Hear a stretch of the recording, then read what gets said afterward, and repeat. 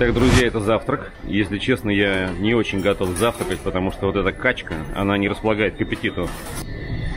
Ярослав, как всегда, отказался, он на диете. А я буду оператором. Может быть, может быть, в течение часа, пока завтрак не закончится, приду в себя, чтобы повторить за тобой. 10,90 стоит максимально, 8,90 средний и 5 детский. А вот этот вот больше наряднее.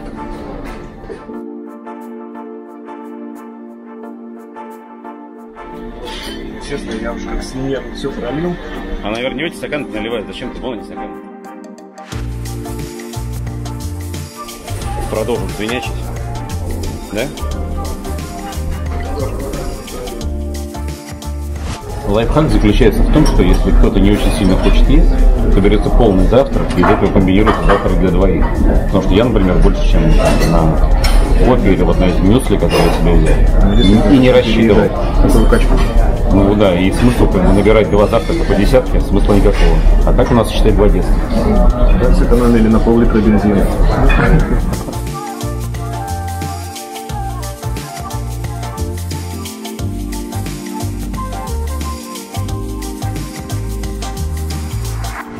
Вот сколько мы, чуть меньше суток идем по своей сути, и уже совершенно другой ветер. Он даже теплый. Реально не, нет такого холода. Вот все-таки Испания, да? Бедный Гидеминус там сидит сейчас под дождем и говорит, а нам не холодно, а мы ничего не чувствуем, а мы ничего не чувствуем, а нам не холодно. Совсем другой воздух, совсем э, по-другому ощущается даже холод. Нет промозглости вот этой британской. Но основная проблема лично для меня заключается в том, что я не могу монтировать видео. То есть вот эта качка, более-менее я ее как-то переношу с периодическими всплесками. Но когда садишься за монитор и смотришь собственные видео, которые нужно монтировать, это невозможно, потому что у тебя и видео шатается, и ты вот так вот. Кстати, после этого всегда будешь немножечко вот так покачиваться, ходить по берегу в течение, наверное, дня. Моряцкая такая походка. Очень, кстати, пришлось британское молоко, которое из города Портсмут, из холодильника. И это единственный продукт, который я взял с собой из э, Великобритании. Очень об этом жалею, потому что у нас два огромных автомобиля, багажники, могли бы с собой взять пива, эля, каких-то там национальных продуктов, которые именно британские, которые в другой стране, в той же Испании, с огромным удовольствием можно вечером перекусить, потому что ты это привез из другой страны, и вкус, сами понимаете, совершенно другой. А место полно, багаж-то фактически у нас включен в неограниченном количестве. А второй момент это то, что мы не взяли с собой никаких продуктов на борт парома. Это тоже, конечно, ошибка, потому что я смотрел на продвинутых путешественников, много пенсионеров. К автомобилям, кстати, сейчас доступа нет. Если что-то осталось в машине, все, надо было взять сразу, потом уже в машину не попасть. Вот Валера не взял провод зарядки айфона. Слава богу, у меня куча проводов, я ему одолжил. А так вообще были бы какие-то вещи, не попасть. Так вот, надо было изначально э, купить какие-то продукты в дорогу, потому что здесь есть завтрак, здесь есть обед, здесь есть ужин. Три момента питания достаточно ну, не разнообразного, конечно, с голоду не умрешь, но автоматы здесь, которые продают всякую мелочь, там сникерсы, какие-то твиксы, минералку, какие-то маленькие бутылочки, работают за монеты евро или фунты. Но принимает только монеты по одному евро, ну или, наверное, по одному фунту, потому что у меня таких даже британских монет нет. Вот у меня был один еврик, я за него купил себе сникерс, получил сдачу 10 пенсов, вот такую вот монетку, которая мне, видимо, останется как сувенир уже. Все, больше я купить себе ничего не могу, потому что крупных монет, которые принимаются, у меня нет. Ну, а нам осталось, наверное, часов еще 5, и мы будем разгружаться в Сантандере.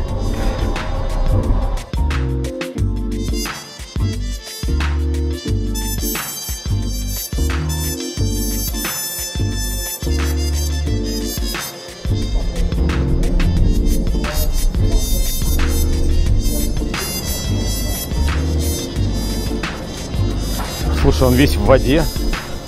Похоже, мы под дождь попадали. Или нас захлестывало волнами. Может, они окатили машины после грязи?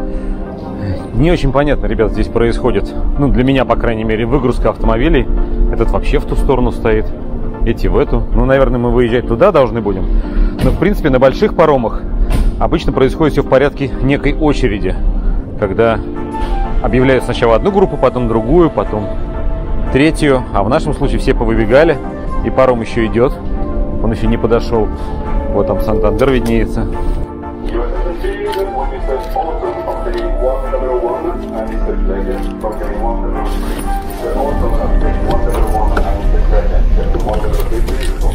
Если нас вдруг будут спрашивать, по каким-либо вопросам, номера, еще что-то, испанская сторона, то нужно говорить так, что за этой машиной придет эвакуатор сейчас. Нам только надо выехать и сразу ее погрузят.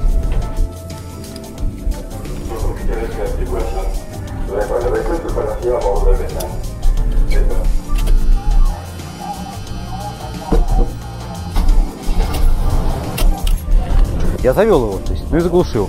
Просто стоят служащие. И сейчас все заведут машины, мало не покажется, понимаешь? Служащие фотографируют. Все время ощущаешь, что ты мешаешь людям, возясь со своим собственным автомобилем. Потому что люди хотят сделать фото без всяких людей в кадре. Слушай, а бесплатная мойка, наверное, входит в стоимость билета, да? Ну, видимо. Говори, чисто.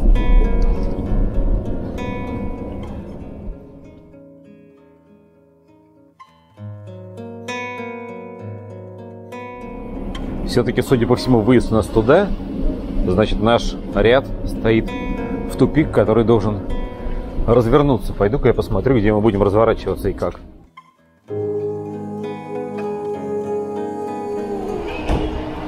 Ну, в несколько заходов, наверное, как-то как-то должно получиться.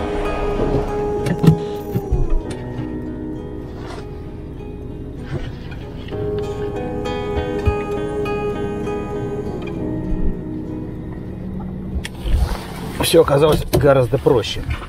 Оказывается, надо развернуться прямо здесь.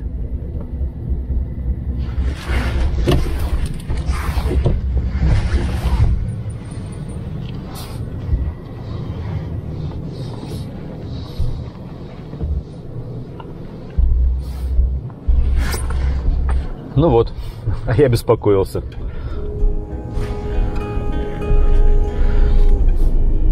Правда, непонятно, когда выйдет Валера. Ну, где-нибудь там встретимся. Надеюсь, будет небольшая какая-то парковочная площадка.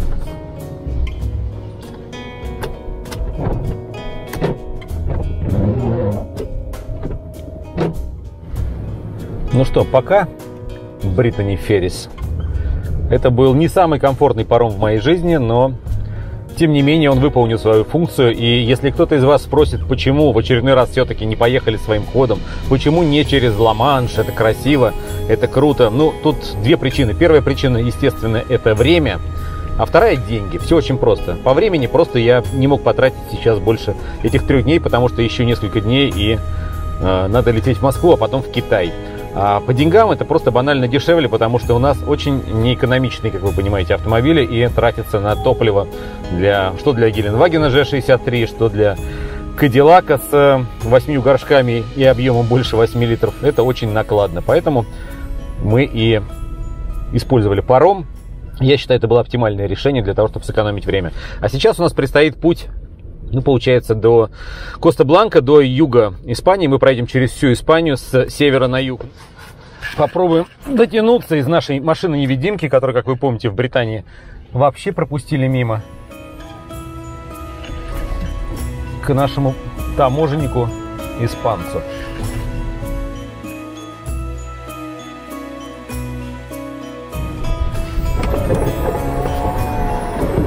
Hola.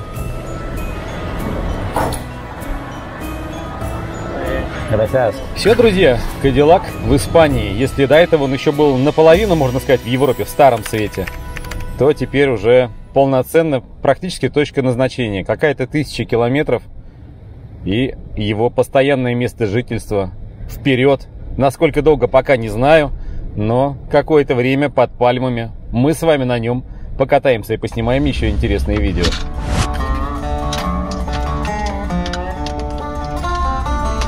Итак, у нас есть три пути.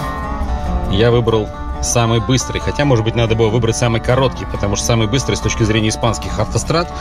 Ну, 120 мы сможем ехать по-любому. В километрах, конечно, не в милях. Хотя это не самый экономичный способ передвижения. Ладно, эти 379 километров до первой остановки проедем именно так.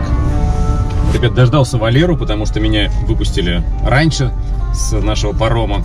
Вот еду сейчас за ним, где-то у нас теоретически должен тут быть один из подписчиков, хотел встретиться.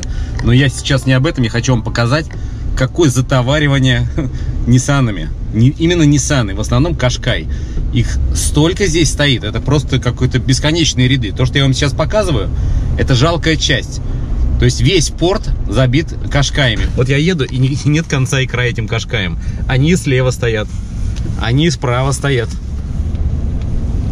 Рядами, в несколько рядов. И вдоль дороги, и просто на площадке. Ну вот какие-то э, коммерческий транспорт, бусы какие-то, ну кашкай. Ну сколько ж их. И это я еще поздно включил камеру, просто решил все-таки вам это показать.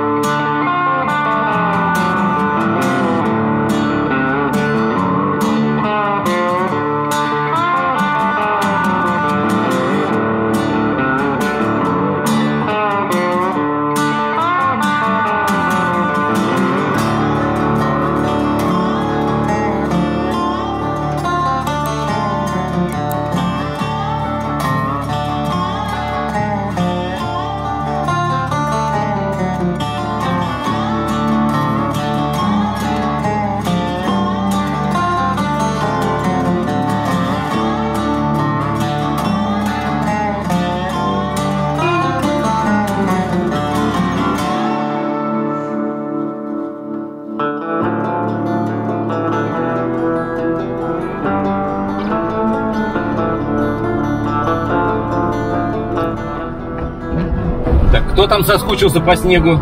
Кадиллак, интересно, соскучился или нет после наших сиэтлских скитаний? Ну, снег теперь на этот раз испанский.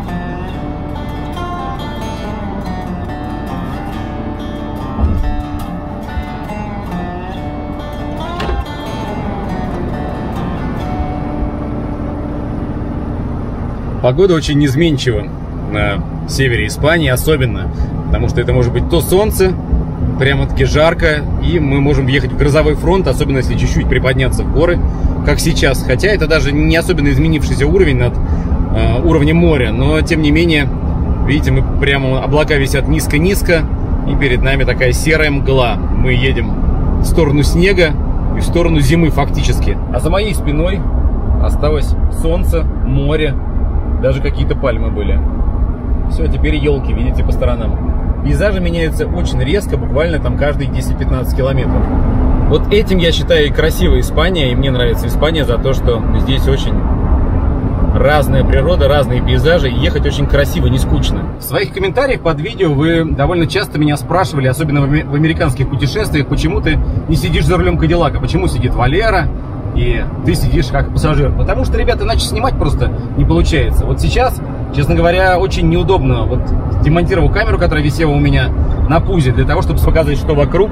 Кроме этого, все машины, которые проезжают мимо, они буквально не просто не сводят глаз с того, что они проезжают, они постоянно снимают меня еще на телефон, постоянно равняются рядом со мной и видят еще меня с камеры. То есть такая, знаете, получается пантомима. Ну и ко всему прочему, у нас еще и Валера шпарит впереди.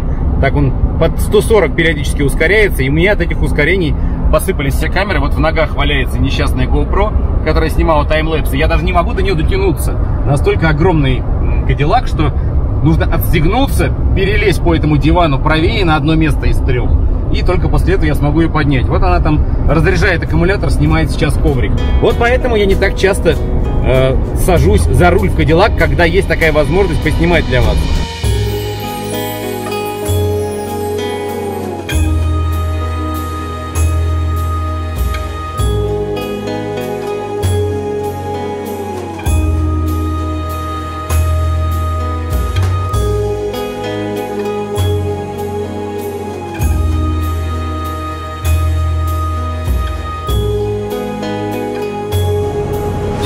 Снег закончился, снова солнце, зелень, и снова на улице плюс 20, а было плюс 10 километров 50 назад.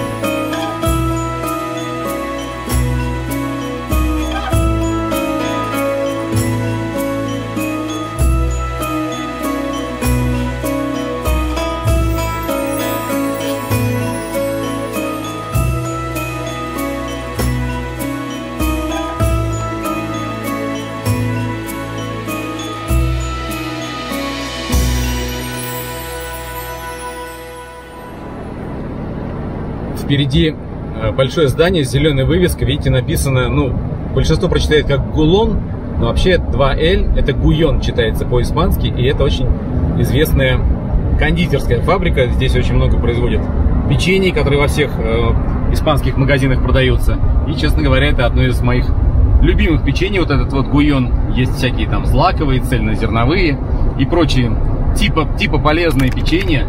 Но в то же время они реально вкусные. Вот проехал и для себя запомнил это место, раньше здесь не проезжал, и вам показал.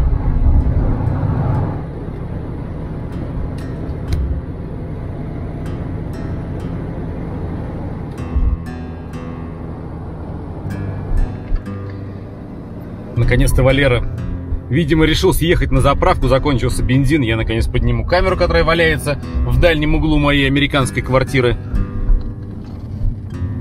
Ну и, наверное, стоит немножко подзаправиться. Хотя есть у меня ощущение почему-то, что... Я не знаю почему, но здесь Кадиллак живет как-то поменьше. Вот, может быть, пока еще не точно, субъективно. Но, тем не менее, сейчас заправимся в литрах, заплатим евро, а вот не все эти галлоны, мили, поедем километрами. И посчитать, я думаю, будет гораздо проще. Кстати, два мотоцикла стоят британские, которые с паром вместе с нами съезжали. Вообще много машин с номерами английскими по дороге идет из, вот именно этой трассой. Я даже не, знаю, не знаю, стоит ли мне заправляться. Валера, Валере что-то не понравилось. Похоже, нет. Его там 108-го или какой там ему нужен.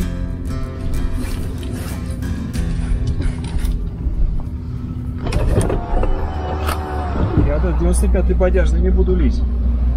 Ну ты другой не найдешь. Извини, мне нужен 98 На трос тебя надо брать еще там есть немножко, поэтому, наверное, на следующую заправку попробуем. Ты смотри, в Испании бывает момент, когда заправок нет по 200 километров. А что тут 98 же есть, нет? Здесь его нету. А, 98 нет, 95-й? Да, да. Ну так, ребят, с музыкой немного повеселее едется. Единственный возможный доступный для меня способ это вот интернет-радио в моем телефоне. Через Waze работает. В общем, единственный центр управления полетами в моем автомобиле это смартфон. Ну а Валера опять ищет заправку с хорошим октановым числом.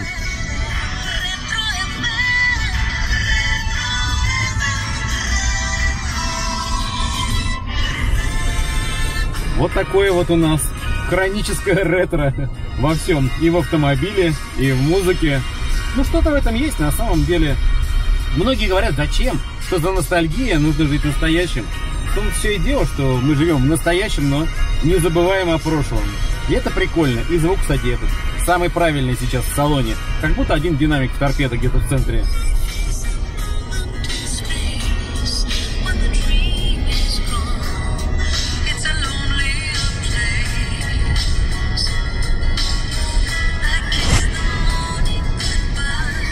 Но здесь мы точно не найдем, что заправить Валерин АМГ, 100%. Такая заправочка авиа. Хотя, да, 98 есть. Я представляю, как Валера доволен. На какой-то заправке авиа в деревне нашелся 98 -й. Решил я подзаправиться, хотя полбака еще есть. Не обращайте внимания на весь этот пластик колотый. Уже столько комментариев было, что что ж за позор такой. Все это есть новое. Просто ждем испанского гаража Поедем и у Славы с Валдосом все аккуратно и хорошо сделаем. Весь этот позор, естественно, сделаем. Он просто уже от старости, видите, рассыхается. Это уже даже не удар никакой, а просто от старости. Кстати, вот не потерять бы эту рамочку, пока едем. 95 у нас по евро 28 на этой заправке, на которой нашелся даже 98 для Валеры. Да, да, можно.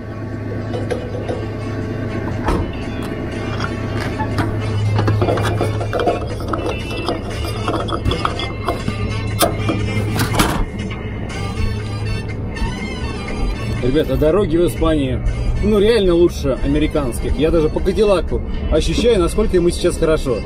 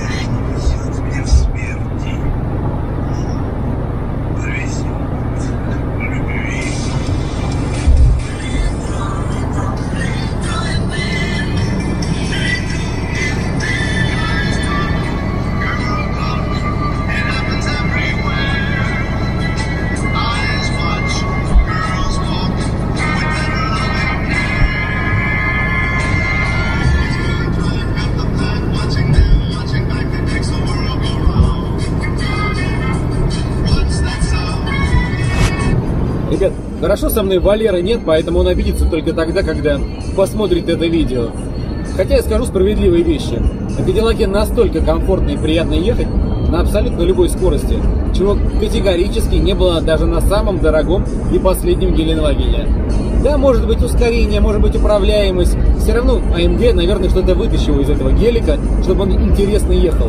Но когда я вышел на крейсерскую скорость, а это 150, ребят, меня просто, ну, нет слов. Эта машина в полной мере проявляет себя так, как она должна ехать. То есть это сделано в Америке больше 40 лет назад, а едет именно в Испании, именно спустя 40 лет, 40 с лишним лет, в 21 веке, так, как эта машина, наверное, планировалась конструкторами. Это одно удовольствие. На этой машине можно реально пересекать страну за страной, особенно по таким дорогам.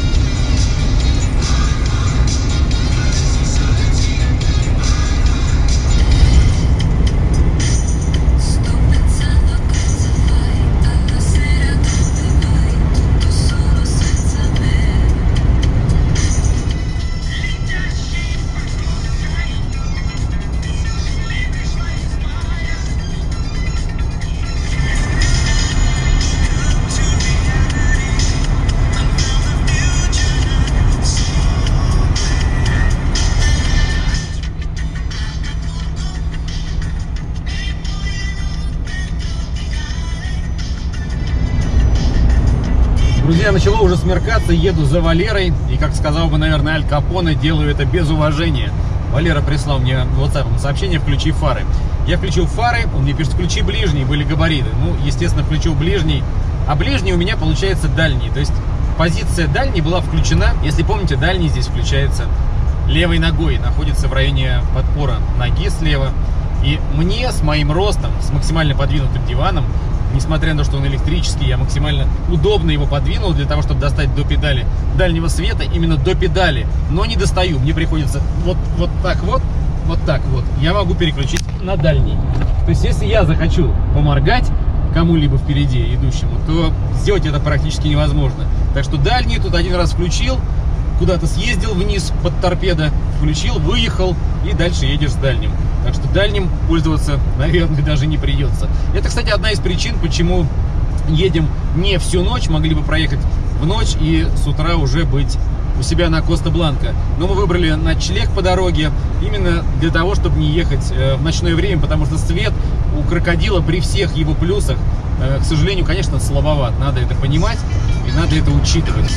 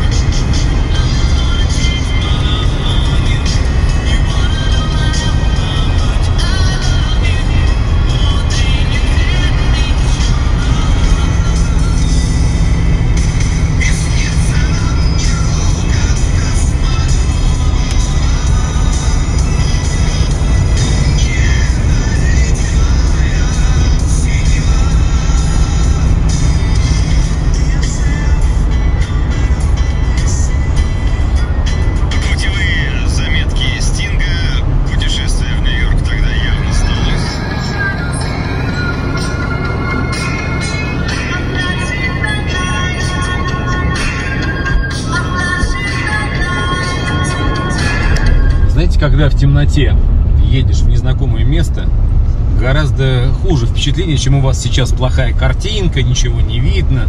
Мне тоже ничего не видно, у меня тоже плохая картинка, и мы едем, как всегда, в неизвестность. Но теоретически у нас здесь должен быть забронирован отель. Почему я говорю должен? Потому что карточка, на которой я бронировал этот отель, она недействительна. И мне пришла смс, что отказано в авторизации этому отелю. То есть теоретически отель мог отменить банально нашу бронь и заселить других людей. Передвижение ночью на Кадиллаке, э, к сожалению, действительно утомительно. Очень плохой свет, плюс еще идет дождь, плотный поток машин, воскресенье вечер. И хочется очень сильно верить, что у нас все будет в порядке.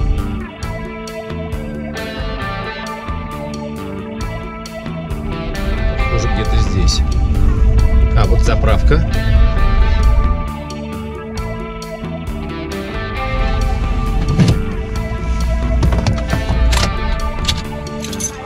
Аккумулятор, надеюсь, достаточно зарядился, чтобы не снимать клемму сегодня на ночь. Задача. Два автомобиля, прожорливые, стартуют одновременно с полными баками, проезжают одновременно одно Так. и то же расстояние с одинаковой скоростью. Так, Вопрос. Какой из них прожорливее. более прожорливый? А мы же, да. Проверим? Ну, давай проверим. Давай, У меня полбака. показывай свой бак. Полбака. Сейчас он поднимется. Подожди, подожди. Сейчас Окей, уйдет, даже, хорошо. даже, даже уйдет пол- больше полубака. Хорошо, верю тебе, Ну, полбака. да. Нам вообще заселяться надо, Валер. Сейчас мы тут домеряемся баками, что потом придется ехать и бронировать другой отель. Раньше пиписьками мерились, а сейчас А сейчас баками, да. То же самое. Как тебе? Абсолютно то же самое. Абсолютно, да. Ну что, Осталось узнать только Какой бак у тебя и какой... Ну, одинаково. Я думаю, они... а Я думаю, и тот, и этот по 25 где-то жрут, ребят. Нормальный. Нормальный расход. Учитывая, что мы ехали часть э, 160, а я даже до 170 его разогнал. Я, кстати, положил спидометр. Ты заметил это, нет? да-да-да. Он лежал полностью, лежал, и мне навигация показывала 167. А у тебя что быстрее кончилось? Бензин или смелость? Ну, кстати, по ровной дороге вообще отлично идет. Ладно, пойдем заселяться.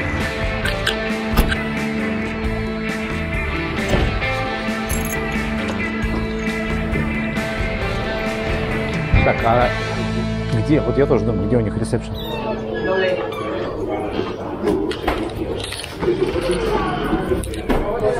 Не-не, это бар. Я думаю, что с другой стороны вход. Может быть, вот сюда? Вот в эту дверку?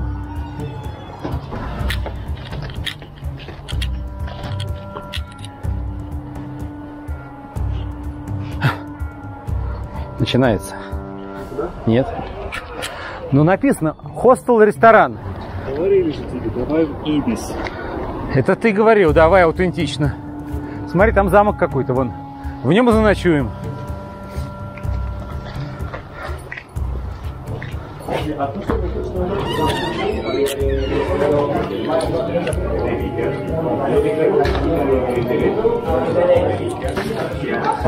Hola, perdón. ¿Dónde está el hostel? Eh, aquí. Aquí. Sí, sí. Muy bien. Era una habitación. Eh, dos. Dos. Dos, sí. А так может быть так, четыре прямо в баре, а? А что, это же круто. Окей. Для записи. Главное, чтобы был прием карты вообще, в принципе. А он не сказал, нет, нет, сеньор, это стоит 3050. Но это аутентично не бывает. Это реально. Мы парализовали работу бара, ты понимаешь? Vale, perfecto. Muchas gracias, Cristian.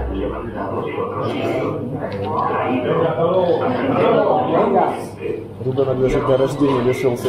Пришлось отменить дня- день рождения из-за того, что какие-то уезжают. Похоже, ему сейчас придется там какие-нибудь замки пыльные снимать с комнат. Паутины, Да. быстренько вылетать. Ты не посмотрел там обратная связь от э, посетителей датируется. В 1812 Ты не смотрел испанские фильмы ужасов? Я тебе порекомендую парочку, например, «Ведьму из Сугарамурди». Посмотри.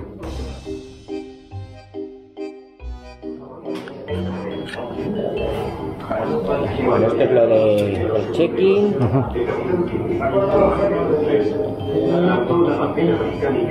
Nombre, ¿no?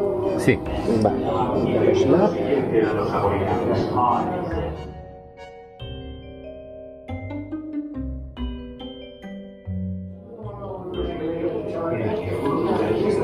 Me le echa aquí una firmita.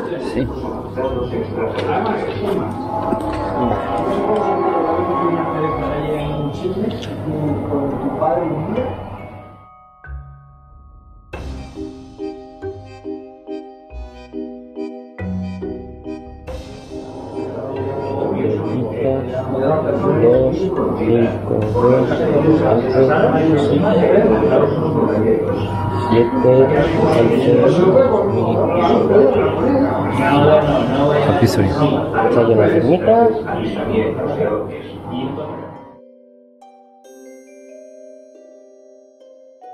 Vale.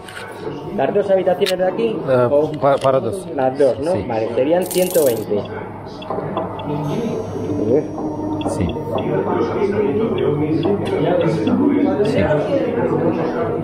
Y Все нормально. copia. No. Pues cobraron. Ты, надеюсь, первый раз в жизни ночуешь в баре. Говорила тебе жена, не ночуй в баре. А остальное уже ничего не удивляйся.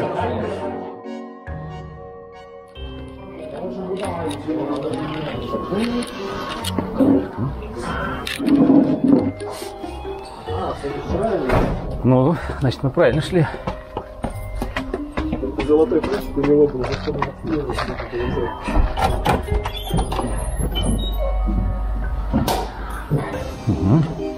Esta caballa, digo, esta llave, la cuadrada, es la de aquí. Sí, sí.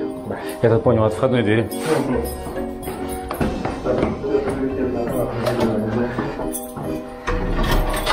Es una. Прошу вас. Напротив своего автомобиля. Son iguales. Одинаковые, говорит. Не переживай, одинаковые. Tienen la habitación, digo, el cuarto de baño, una salita, У меня двухэтажный. Ага. arriba la cama. О, Se sube y vamos. muy bien. Número 3.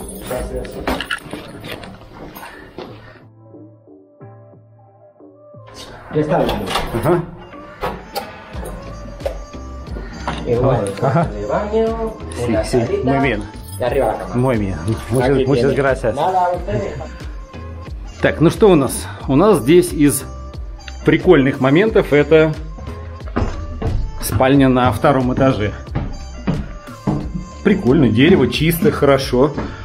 Я бы сказал, что здесь комфортно, честно скажу, и телевизор, кстати, забавно висит. Я читал на букинге отзывы про этот отель, и люди писали, очень неудобно смотреть телевизор. В принципе, логично, телевизор надо смотреть вот просовывая голову, очевидно, как-то между вот этими вот а в остальном я считаю, что за 60 евро, ну и надеюсь, Валера будет доволен чистотой, потому что у Валеры обычно всегда первое, что он рассматривает, это чистота.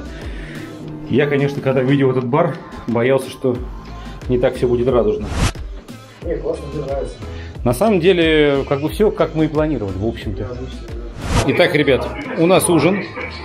Ужин выглядит следующим образом. Меню небогатое. Есть так называемая плата с комбинатос. Это комбинированные блюда. Номер один, номер два. С говядиной и со свининой. Все это идет с картошкой.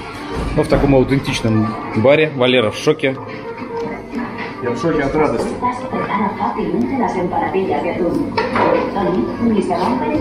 Только местные жители здесь. Обычное место для местных жителей. С э, первой точки на испанской земле.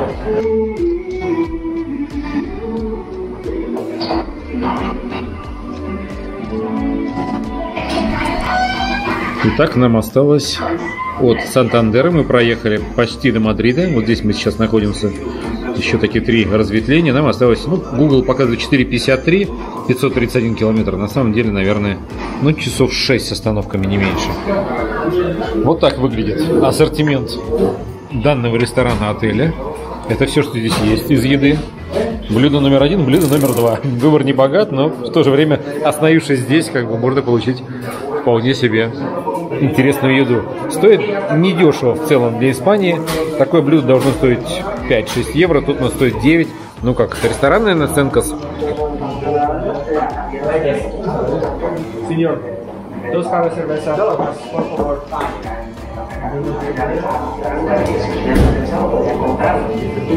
Вот так изучаем. Уроки испанского. Валера понимает. Что, ну скажи жене, я не пью, я учил испанский в баре. Я использовал обстановку За Испанию, за за Испанию. Испанию. да.